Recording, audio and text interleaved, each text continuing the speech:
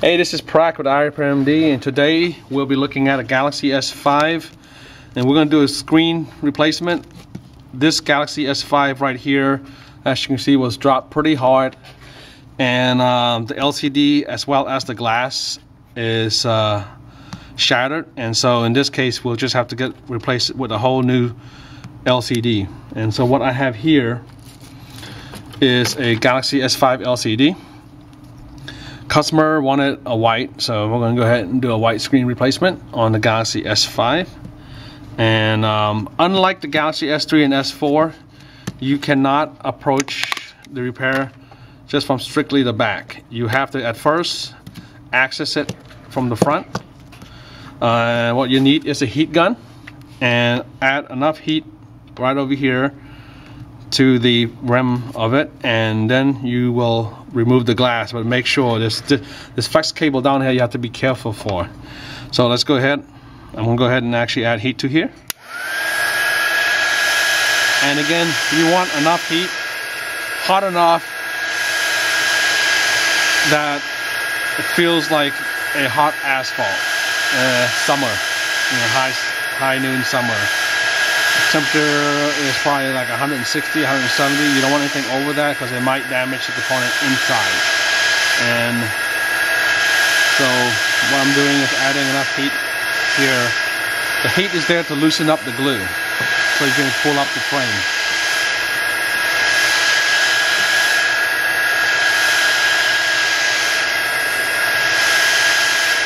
And since the um,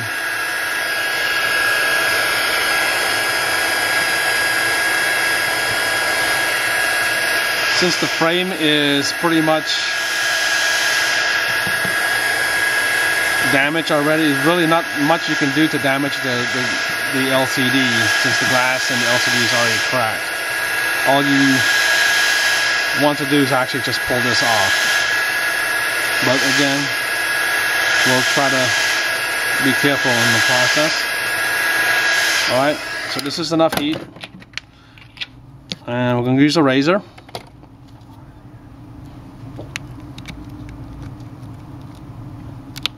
I'm gonna go ahead and access frame right here and what you'll need is this case is just go ahead and just use the scraper tool because there's really nothing else to rescue.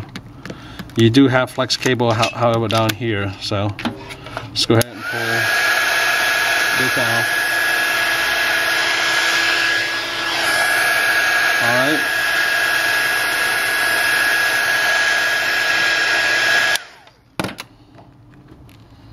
okay so again this one has already been damaged from from the drop both LCD and digitizers damaged so all we really want to do is just open up and replace the digitizer and LCD but what we're trying to rescue is the touch cable.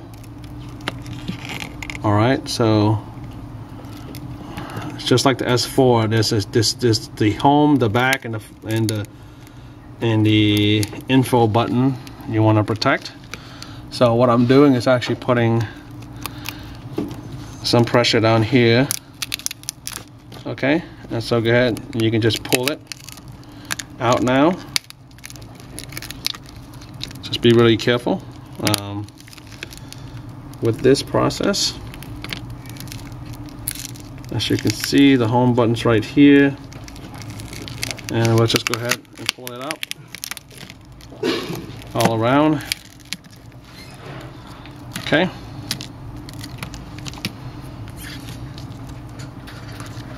Just look over here. And underneath here just be very careful. There is a it's a chip right here. Just make sure the flex cable don't it's not damaging it. And let's go ahead and add a little more heat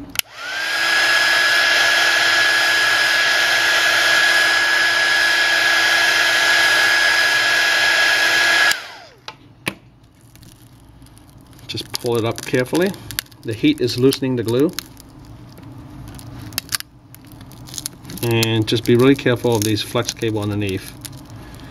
Alright, these are sensors. And so pulling it carefully examining any kind of flex cable that's possible to damage I'm looking here now there's no other flex cable on the bottom so go ahead and pull up the the base of this. This is the heat shield right here. Go ahead and lift it up carefully.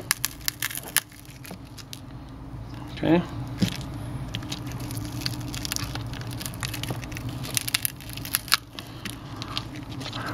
As any new device when you repair it if you don't know what's underneath just be very careful as you're taking it apart. But the way I see it looks to me like the only thing you have to be sensitive about uh, is the cable that's attached to these part and that's pretty much it because everything else is behind the phone the LCD and the digitizer are intact as you can see right here you don't need you can go ahead and actually um, detach the connector out by pulling it. And so you don't need to access the back at all in this repair. It's all front assembly. So if you have a cracked screen LCD, it's a fairly quick repair. Probably takes you less than five minutes once you get the hang of this. I'm doing this in front of a video. I'm trying to be careful. So make sure that I have everything covered. Okay, what you need to do now that you have this you want to make sure that there's no glass lying around that can when you do put the new LCD in that can cause a crack so you've gotta be very cognitive be very careful not to damage any of these and let's go ahead and next look at the flex cable here okay uh, I'm clearing the LED out to make sure the touch LED actually respond. I'm going to remove some of this glue off. Okay. And carefully with my thumbnail, scraping all these excess adhesive that we had before. Lining this up to here. I believe this is a thermal sensor. to gauge the temperature of the screen and if it gets too hot it goes on safe mode and this is a thermostat if I'm wrong correct me alright and so now what I'm doing is going around the edge carefully exploring the frame, making sure there's no glass that can cause any damage to the screen. Okay, and so now the only thing I really have to rescue from the old one is the home button right here, and that with a little heat from the heat gun will remove it just fine.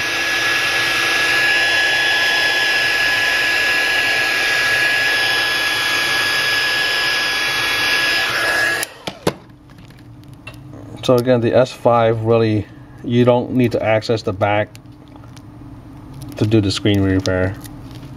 It's come off fairly easy.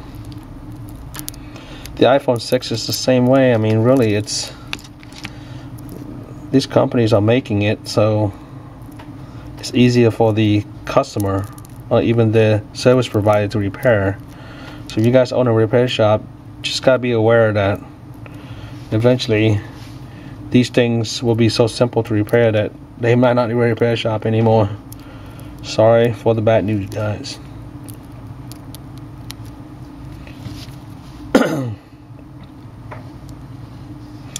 Alright, so I'm going to go ahead and remove the old home button right here. However, I do have a second screen to test too. So I got two Galaxy S3. I bought two screens, so I just want to make sure that both screens are usable. What I'm going to do is go ahead and test this screen out. And as you can see, I'm going to put the LCD connector to the logic board, the connector logic board. And see where I can go from there. I'm not going to remove the tape yet because this again I'm just simply trying to test this out make sure both LCD works. I'll power it up. Oops. Let me go ahead and put the everything back in and now I want to power it up. Test the LCD before I put it together. Alright. This LCD seemed to work just fine.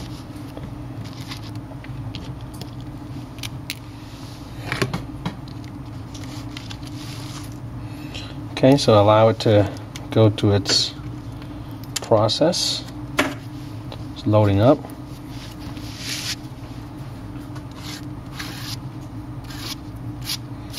But I believe, you know, if you do have a glass process where the LCD is still usable and you just buy the lens cover, I think the process for repairing is pretty much the same. You can separate the glass carefully. Let me go ahead and you can see the touch does work. I mean I'm to test the home button. Okay. All these other features do work also. There you go. Back and home detail. Everything works on this screen. I'm to go ahead and test my second screen out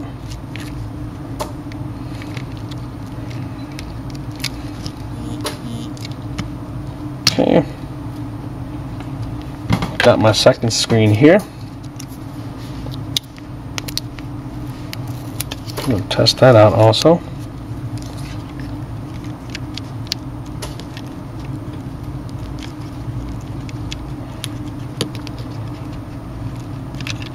The Galaxy S5, when they built this, they built it to be watertight.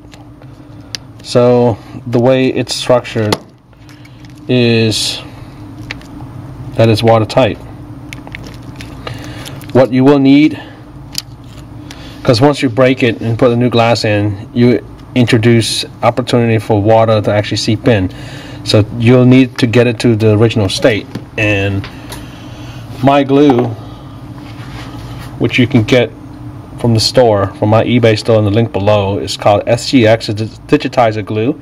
It is made from silicone and it is watertight it's actually probably better than the original glue and I'm going to go ahead and apply this glue on.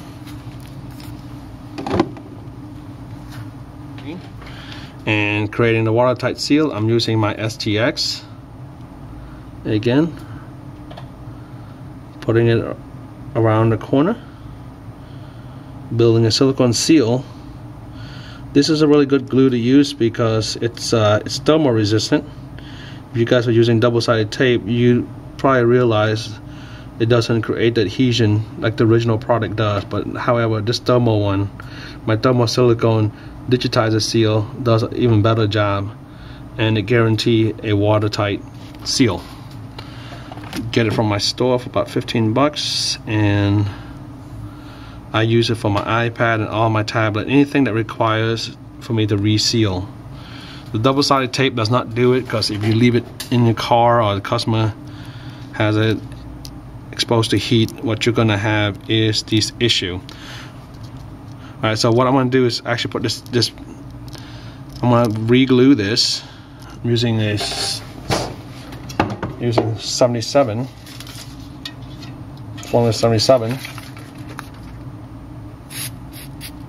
spraying it a teeny bit on here. And I'm gonna make sure this lines up right and re-adhering this sensor here to the phone. And I do believe this is a thermal sensor. Okay. Now everything is nicely placed. What I'm doing now is aligning the home button. Okay. Using my STX glue. Um, creating a watertight seal. Putting a button right here. Okay now.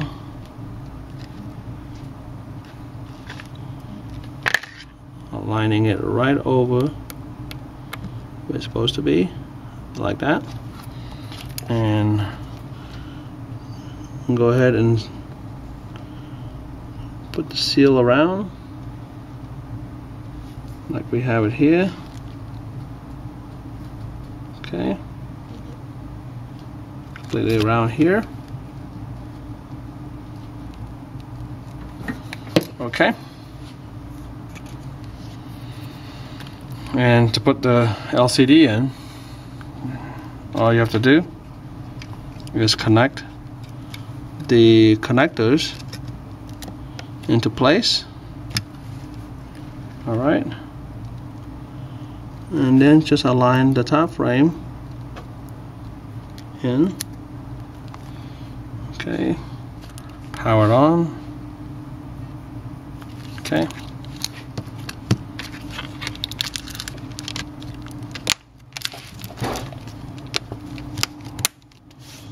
Just has a little STX glue on it's just silicone so you can rub it off with alcohol.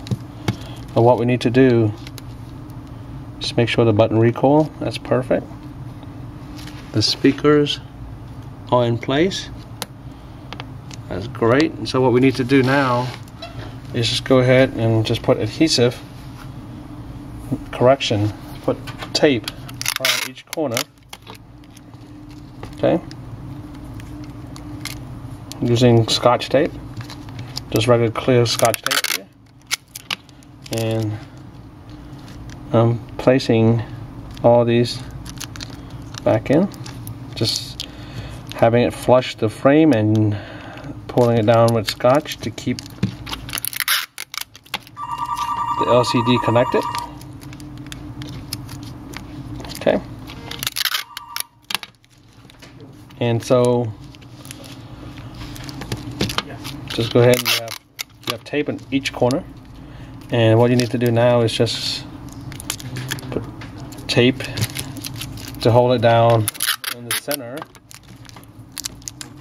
Okay at this point you see the battery's kind of low so I'm gonna go ahead and charge it uh, it takes about 20 minutes for the glue to set so again I'll be back in 20 minutes to unwrap this and clean it up okay so now it's been 20 minutes go ahead and remove the uh, glass, I mean the tape from here. Okay.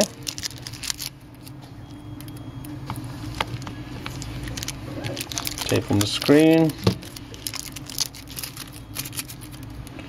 And the 20 minutes will allow the SGX silicone seal to cure properly. I would still advise your customer to probably wait a full day before they can actually start putting it into a case. Okay, so we're going to pull this off right here. And let me go ahead and use electronic alcohol to clean screen up.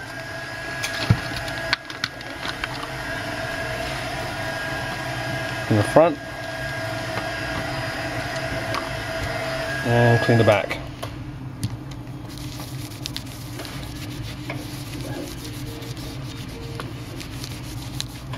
okay and then we can go ahead and test this out power button okay home button slide camera slide. All right perfect. All right this is Prak with iRepairMD safe repair